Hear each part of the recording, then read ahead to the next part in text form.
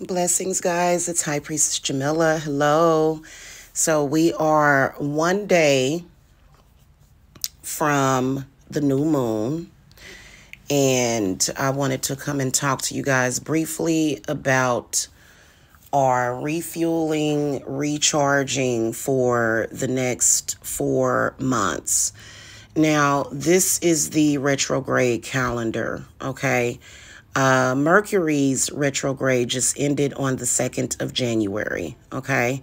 So the good news is that right now, what we are doing is refueling, recharging, realigning, and we are rebuilding the next four to five months up until uh, May the 2nd. Okay. So this is going to be very important. Okay. Uh, things are going to look up, things are going to get better. Um,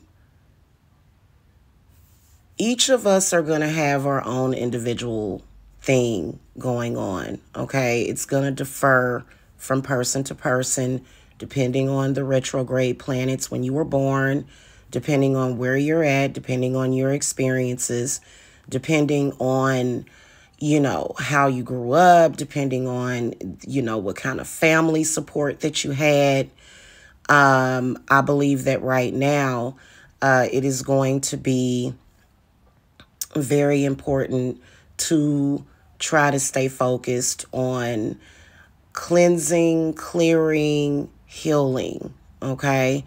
Um, now, the first planet that's going to go into retrograde in 2024 is Pluto. Okay. This is going to happen on May the 2nd in Aquarius. Pluto, um, what I gather from Pluto is that when Pluto goes into retrograde, this is when things can become very stagnated very stagnant energies can kick in. Um, less energies of transformation. So this is when we're going to want to possibly call to like, um, you know, Kali Ma, um, other goddesses of trans uh, transformation um, around this time uh, for maybe some assistance. Um, but definitely working on it now, I believe will help avoid this so that things will flow pretty naturally. Now, Chiron is not going to go into retrograde until July. So it's very important for us to focus on healing, okay? Especially if your Chiron was in retrograde when you were born um, and you, you know, didn't get enough possibly from your mother, depending on what her experiences was during her pregnancy with you. Okay. Her diet, what she ate, what she focused on, what she was going through with your father, her family, things of that nature. Because um, a lot of those things are very unnatural. Okay. Um, so we're not going to focus on the other ones yet. I mean, as you guys can see, uh, Neptune going into retrograde on July can possibly cause you to feel a little disconnected as far as like from spirit.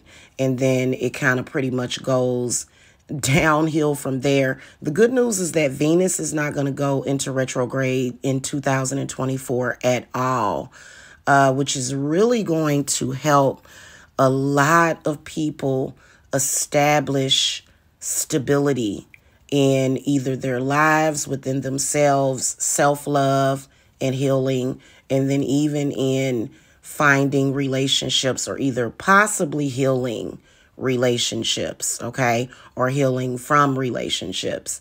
So, um, if you guys have any questions, uh, you know how to reach me you guys can actually get a full analysis by scheduling a reading. It's very important to stay focused during this reading. Uh,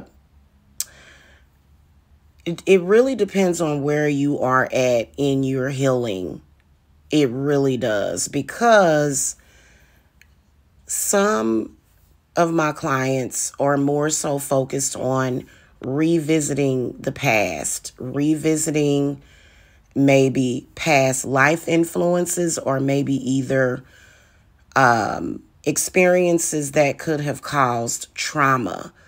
And so that is where I'm going to that is where I'm going to recommend cleansing as well as healing, recharging and refueling for the next 4 months that is what it's all going to be about, okay?